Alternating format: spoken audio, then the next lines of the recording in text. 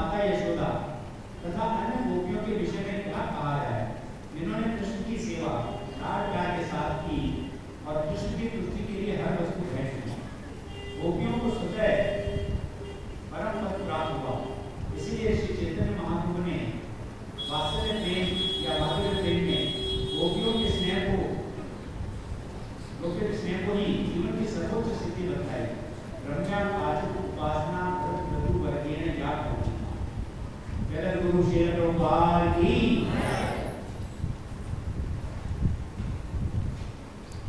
तो सवेरे यह कथा हुई कि पूतना किस तरह से ब्रज में गई थी श्री कृष्ण को मारने के लिए। परंतु श्री कृष्ण उसका स्तन पिए और उसे वैकुंठ में अपने माता के योग्य पद दे दिए।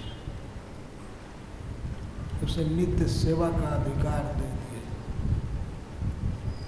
धात्री गति इसको कहते तो यह सर्वथा अयोग्य थी, पुतना किसी तरह से योग्य नहीं थी। कोई भक्त नहीं थी, कोई साधु नहीं थी। उसमें कृष्ण से प्रेम बिल्कुल नहीं था, फिर भी उसको ये गति प्राप्त हुई। पुतना सब तरह से अयोग्य थी, उसकी अयोग्यता का वर्णन यहाँ कई शब्दों में सुखदेव गोस्वामी कर रहे हैं। पुतना पुतना शब्द अपने आप अयोग्यता बता रहा है वह पुतना। उसका कुल खराब था, खानदान बहुत बुरा था। लोक बाल अग्नि जन्म भी खराब कुल में हुआ था। अगर अच्छे कुल में हुई होती तो माना जा सकता था कि वो भगवान को प्राप्त कर सकती थी। परंतु अत्यंत नीच कुल में जन्म ली थी।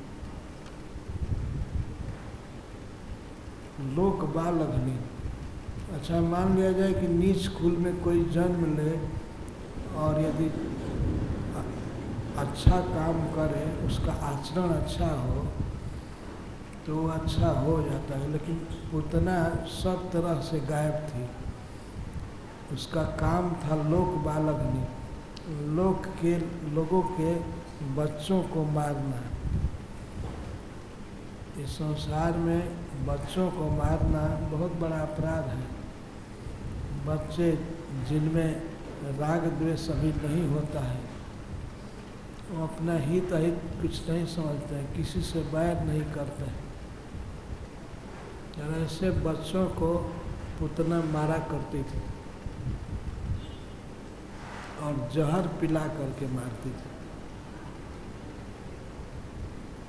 बालघनी लोक बालघनी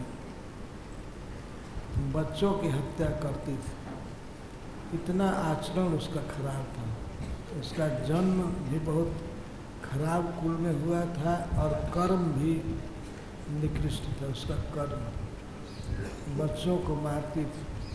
जिन बच्चों से सामान्य लोगों का भी प्रेम होता है।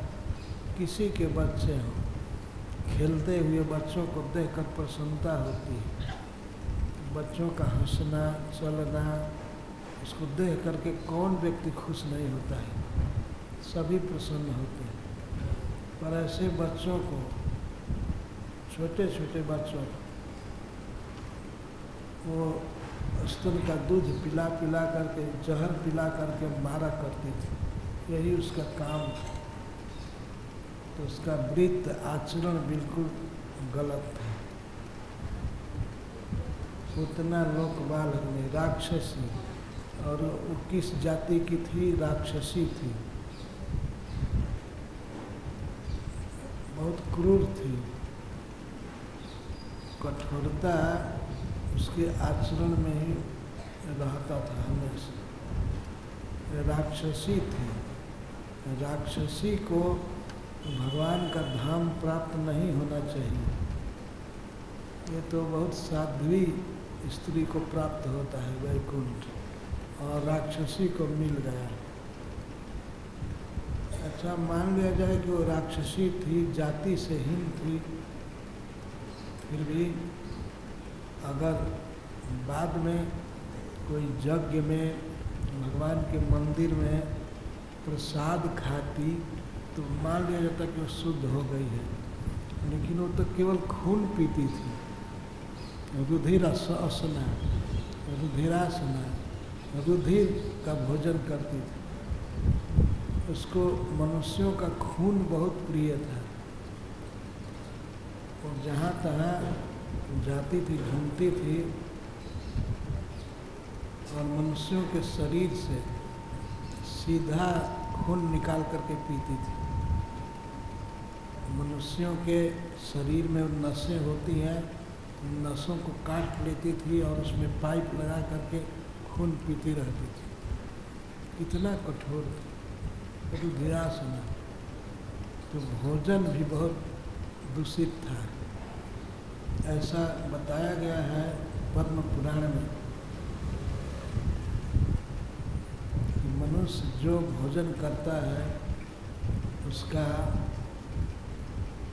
सबसे उत्तम अंश तो खून बन जाता है। और जो मध्य अंश होता है, वो मांस बनता है।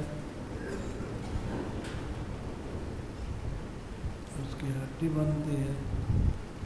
और जो निकृष्ट अंश होता है, वो मल बन जाता है। परंतु सबसे उत्कृष्ट अंश बनता है खून से भी ज़्यादा महत्व का वो मन। जैसा भोजन हम करते हैं, उसके अनुसार ही मन बनता है। तो पूतना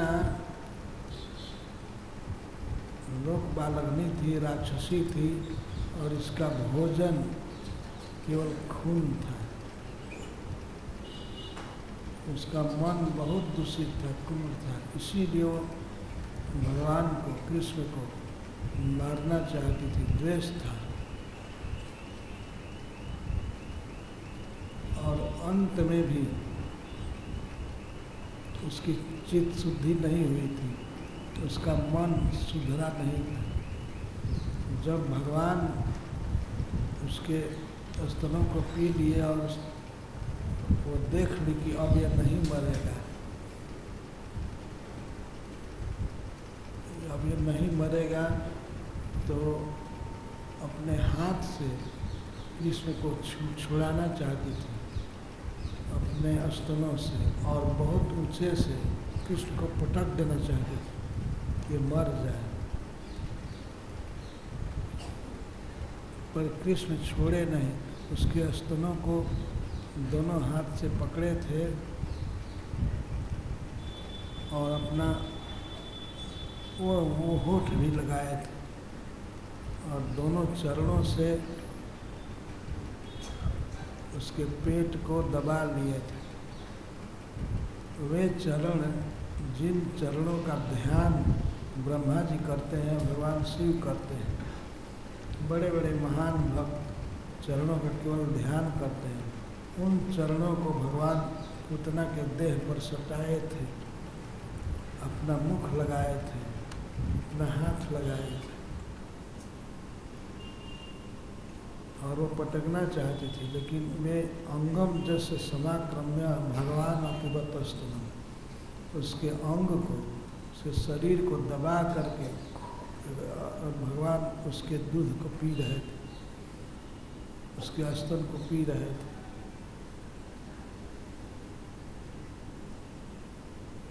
अंत समय में भी उसमें दया नहीं आई कृष्ण के प्रति।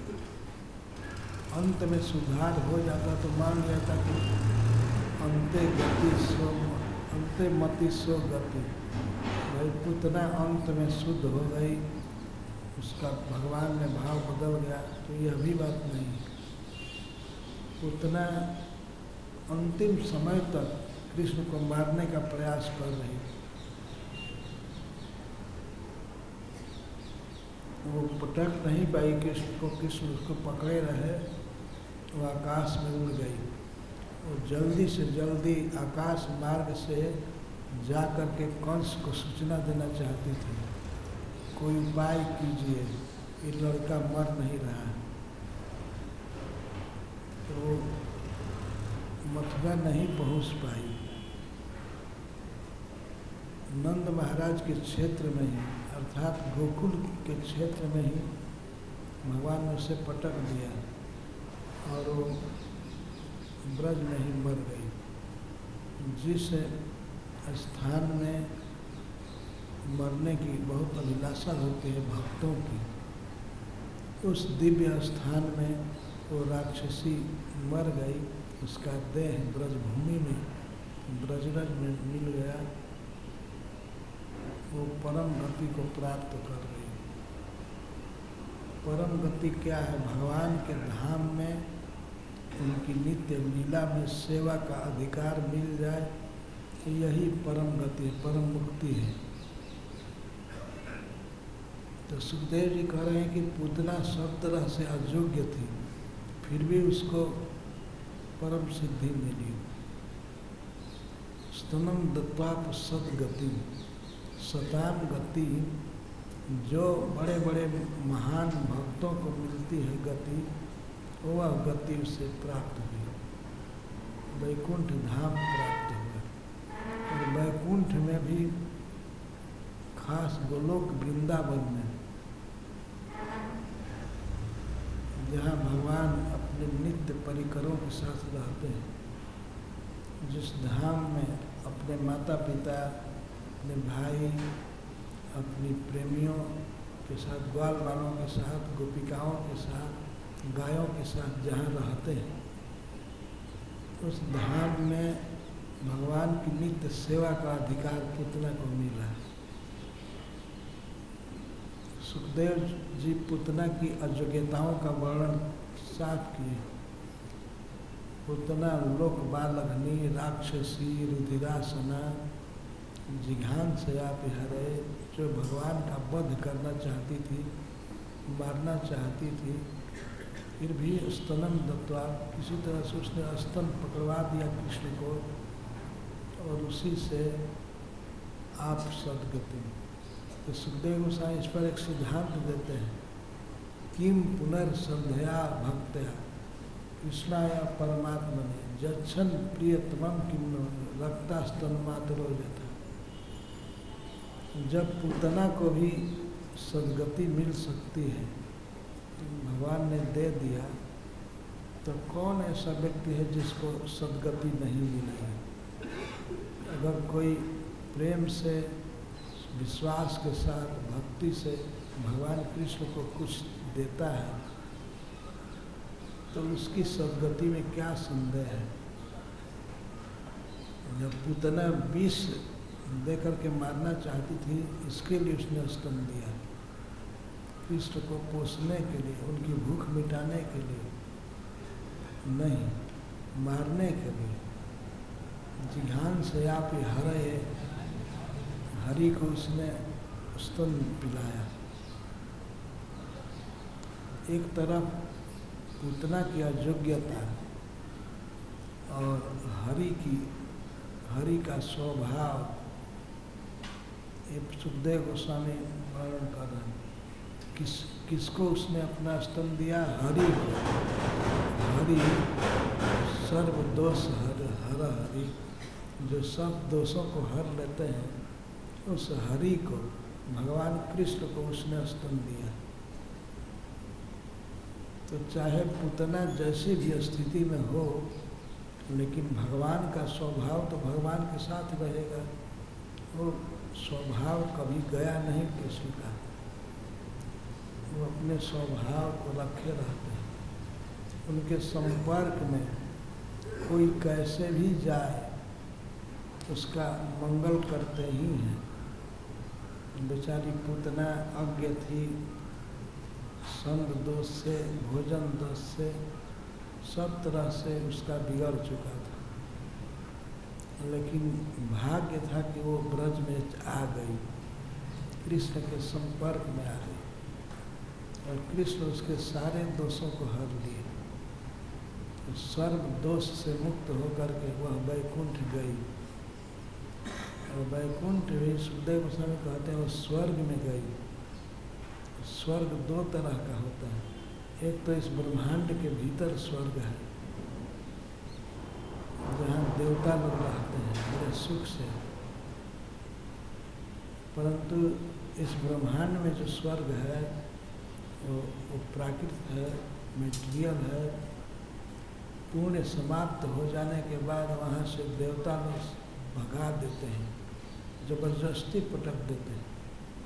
किसी मर्त लोक में छीणे पुण्य मर्त लोकम विसंत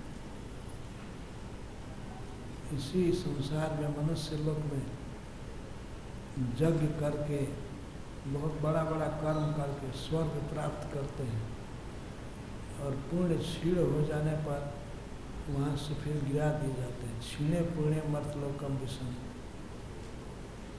पर भगवान कृष्ण पुतना को इस स्वर्ग में नहीं भेजे। इस ब्रह्मांड से बाहर जो चिन्मय स्वर्ग है, वैकुंठ है, उस स्वर्ग में भेजे और वो भी माता का पद दे करके नित्य लीला में, भगवान के ब्रज में, पुतना धात्री बने, भगवान को रोज स्नान कराना, दूध पिलाना, गाय का दूध या अपना दूध भी स्नान कराना, वस्त्र पहनाना भोजन कराना ये नित्य करती है आज भी। अनंत काल तक करेगी। कभी उस लीला का अवसान नहीं है। तो जब पुतना को यह सदगति भगवान ने दिया तो जो भक्त, जो माता जी प्रेम से भगवान को कुछ चीज़ देती है, जो विष नहीं है अगर भगवान को पानी दे रही है स्नान करने के लिए या भोजन दे रहे हैं, भोजन,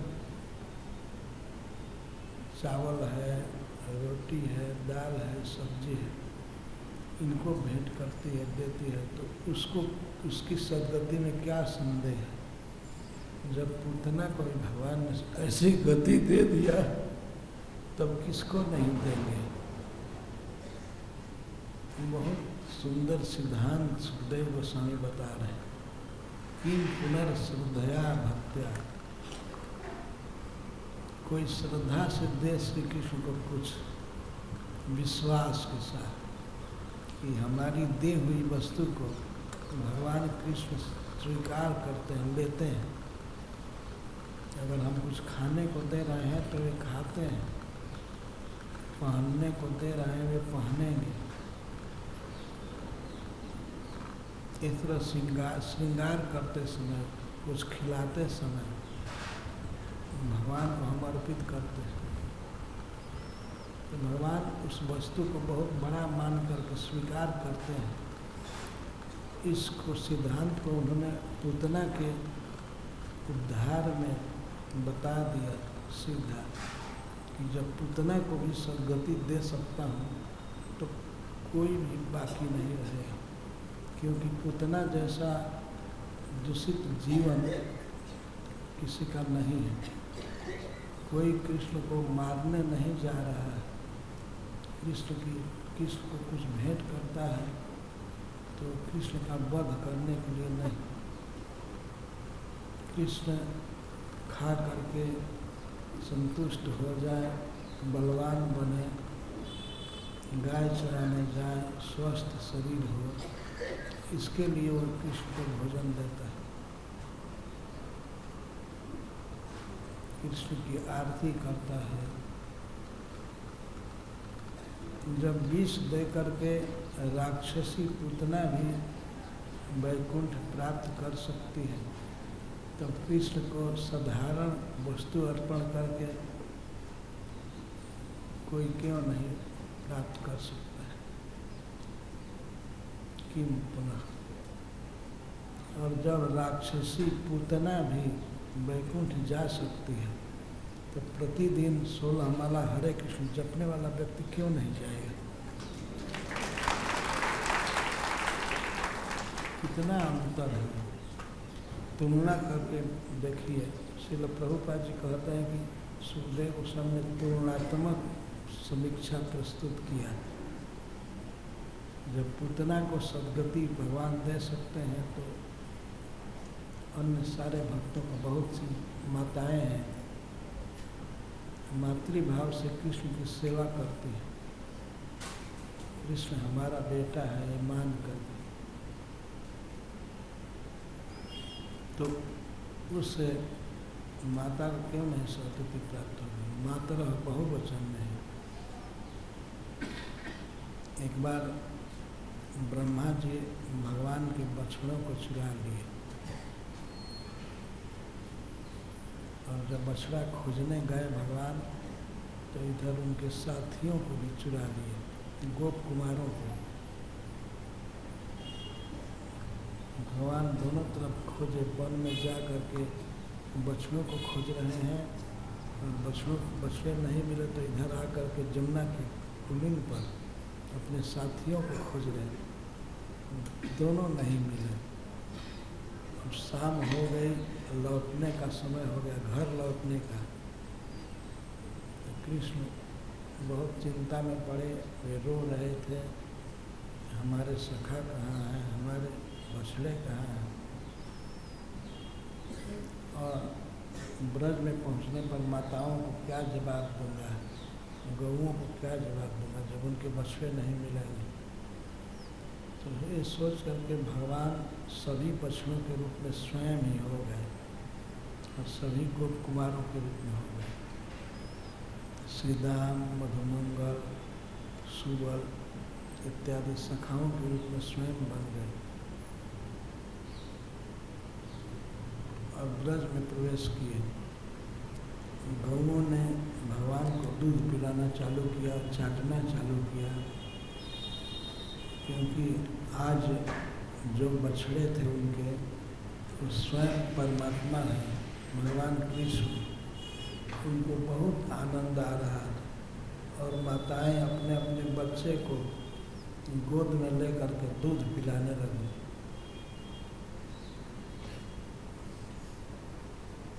रोज की अपेक्षा आज अधिक आनंद आ रहा था, क्योंकि आज स्वयं भगवान पुत्र बने हुए सभी माताओं का पुत्र बने थे और सभी गौओं का शिशु बन गए, बछड़ा बन गए। इसीलिए सुखदेव गोस्वामी मात्रा शब्द का प्रयोग किया और भगवान को देने में, खिलाने में माता का ही दृष्टांत दे रहे हैं, क्योंकि खिलाना तो माता ही जानती है। और सखा प्रेम करते हैं, श्री गोपियाँ प्रेम करती हैं भगवान से, लेकिन भोजन देने के विषय में सबसे दृष्टांत प्रमाण माताएँ ही हैं।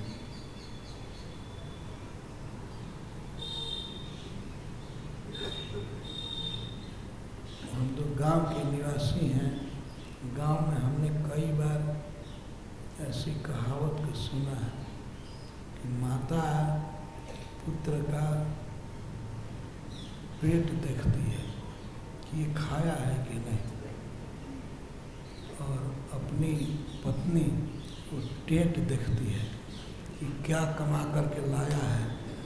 अपने पॉकेट में और बैग में कुछ नोट लेकर के आया है कि नहीं।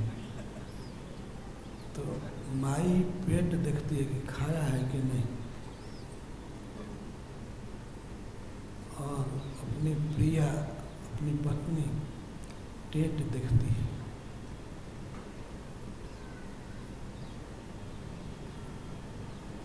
ये बातें हम सुने हैं प्राय। तो भोजन कराने के विषय में माता ही प्रमाण है।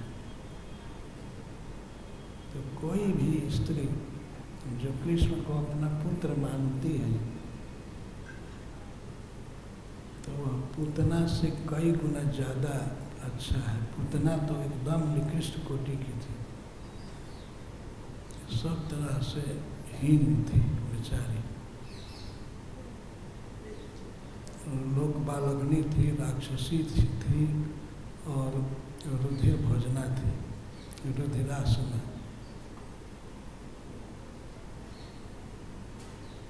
कृष्ण का वध करने के लिए द्वेष भाव से उसने कृष्ण को स्तन पिलाया।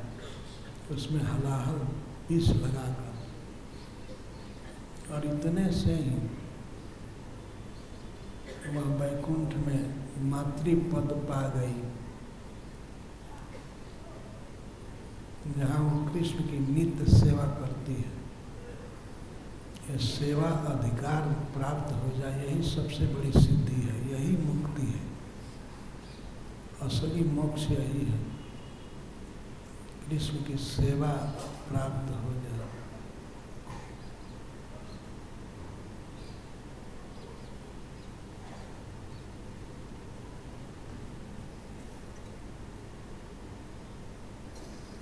इस जीवन के अंत में यदि हमारी यात्रा ठीक होती है, भगवान के धाम में वैकुंठ चले जाते हैं।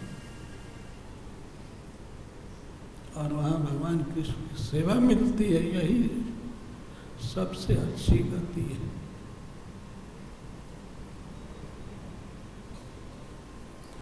जब कृष्ण विष देने वाले को गति दे सकते हैं तो प्रतिदिन उनकी आरती करने पर, उनको भोजन अर्पित करने पर क्यों नहीं देंगे? किम पुनः श्रद्धया भक्त? कृष्णाय परमात्मा। जशन प्रियतम। और वो अभी प्रियतम वस्तु जब हम भेंट करते हैं। जो कृष्ण को बहुत पसंद है या अपने को बहुत प्रिय है, उस वस्तु को भगवान को दें, तब तो कहना ही क्या। जब बीस देने से वे वैकुंठ दे देते हैं, तब प्रिय वस्तु दूध या माखन, दही देने पर वो क्यों नहीं देंगे?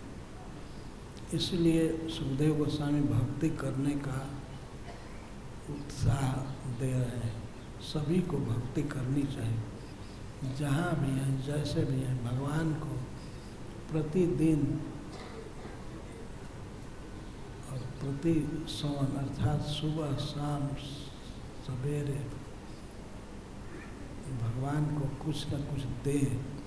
जल दें, फल दें, ये सीखना चाहिए। ये मनुष्य जीवन मिला है, मनुष्य जीवन में कई वर्ष समाप्त हो गए, कुछ साल जीना है तो इसमें भक्ति का ट्रेनिंग ले लेना चाहिए। अपने घर में ठाकुर जी को रह करके, कृष्ण को रह कर, या गौर निताई को रह करके कुछ कीर्तन करना, कुछ भागवत पढ़ना प्रणाम करना और अपने को जो सुलभ है, ऐसे सात्विक पदार्थ भगवान को अर्पित करना, ये सीखना चाहिए। केवल हम अपने श्रृंगार के लिए नहीं हैं, केवल अपने को सजाने के लिए जन्म नहीं लिए हैं। यह शरीर अंत में चला जाएगा, आग के हवाले हो जाएगा। ये आँखें, ये हाथ, ये पैर नहीं रहेंगे। जब तक हैं, तब तक कृष्ण की सेवा में इनको लगाना चाहिए। इस तरह से आत्मा का स्वभाव बन जाएगा भगवान की सेवा करने का। तो आत्मा इस शरीर को छोड़ करके उसी सेवा को ग्रहण करेगा भगवान के धाम में।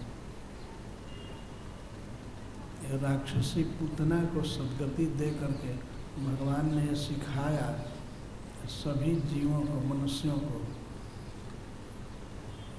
कि हमसे प्रेम करना चाहिए, हमारी भक्ति करनी चाहिए। ये प्रसंग छोटा सा है, लेकिन कितना बड़ा सिद्धांत इसमें छिपा हुआ है।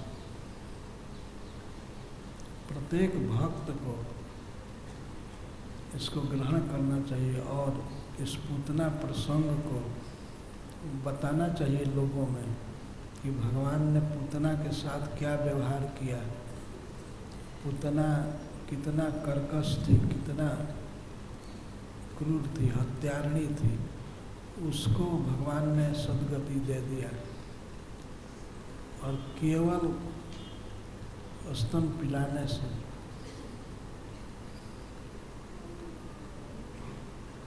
पुतना का क्या इरादा था, क्या उसकी इच्छा थी, क्या वासना थी, इस पर भगवान ने कुछ विचार ही नहीं किया। केवल उन्होंने देखा कि हमको कुछ दे, दी है, दे रही है। विष दे रही है, इसको उन्होंने नहीं देखा। केवल यही देखा कि हमको आई है पिलाने। मथुरा से गोकुल पहुँची है पिलाने के लिए।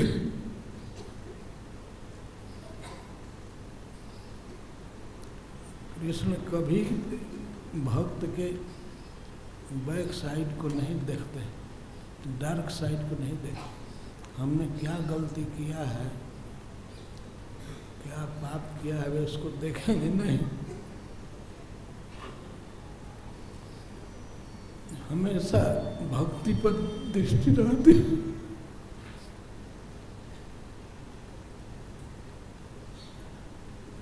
यही हरि का स्वभाव है। हज़ारों दोष रहेंगे भक्त में, लेकिन स्वयं दोष को हर करके दूर कर देते हैं। भक्त की कमी को दूर करते हैं। जब पुतना के दोषों को दूर कर दिया, हर लिया तो अपने भक्त के अपराध को, कमी को क्यों नहीं दूर करेंगे?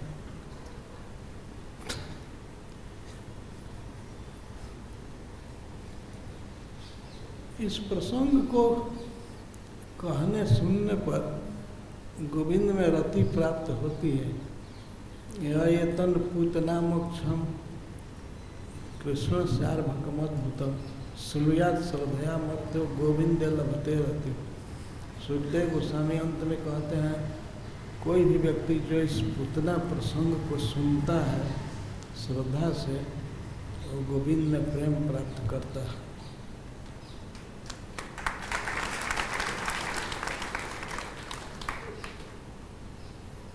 छोटा सा प्रसंग था जिसको सवेरे कहा गया और दूसरे सिटी में सुखदेव गोस्वामी सिद्धांत का वर्णन कर रहे हैं। मेरी इच्छा तो बहुत है इसकी व्याख्या करने की, लेकिन शरीर स्वस्थ नहीं है। मैं जितना बोलना चाहता हूँ, बोल नहीं पाता। जितना मन में स्मरण हो रहा है, उतना वाणी पर नहीं बोल पाता।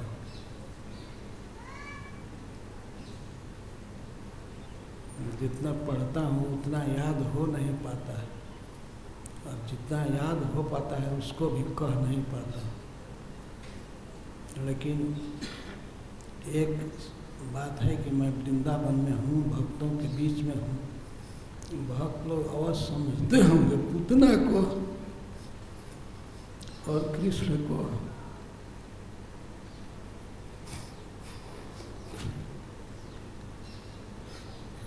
इस तरह से उतना को धात्री गति दे देना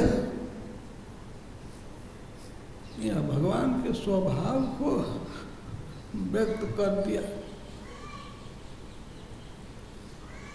इसीलिए हमेशा दृष्टि रखनी चाहिए। अपनी स्थिति चाहे जो भी हो, लेकिन भगवान अपने स्वभाव को छोड़ेंगे नहीं।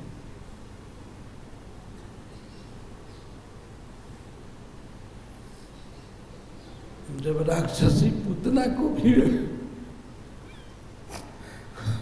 गोलोक वृंदावन में सेवा अधिकार दे दिए तो हमको भी अवश्य देंगे।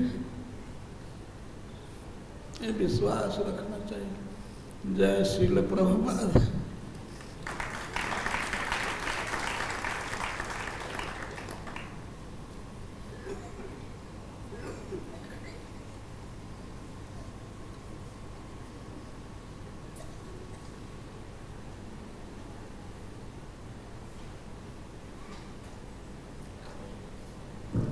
हरे कृष्णा इस कथा मौसम में पधारे हुए सभी भक्तों का हार्दिक स्वागत करते हैं और पर्टिकुलरली खास तौर पर इसलिए राधा जीवन प्रभु का राधा जीवन प्रभु हैं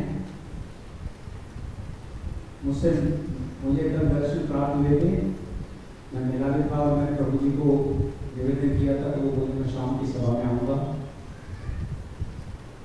इसलिए राधा जीवन प्रभु जी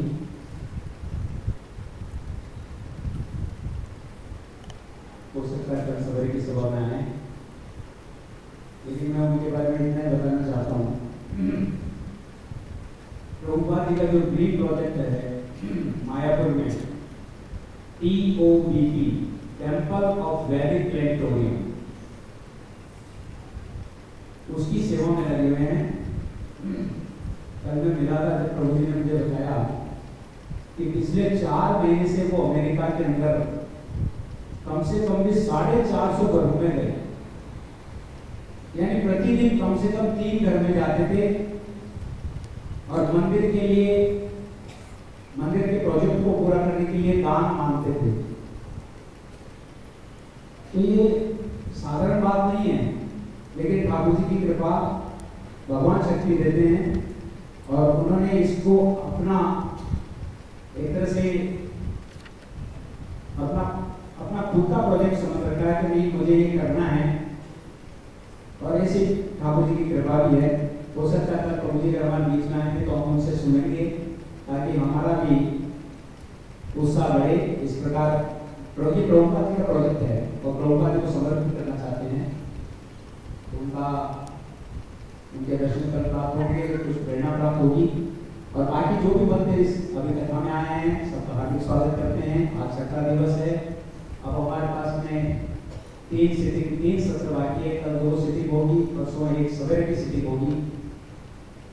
और कल यहाँ पर फूलों की शायद तैयारी होगी, मंदिर में, चूँकि जन्माष्टमी फेस्टिवल परसों है तो यहाँ पर सारे मंदिर को सजा, सजाना है तो यहाँ फूलों की व्यवस्था होगी। तो कल शाम की स्थिति हम बलराम मोड़ में करेंगे। बलराम मोड़ में। करेंगे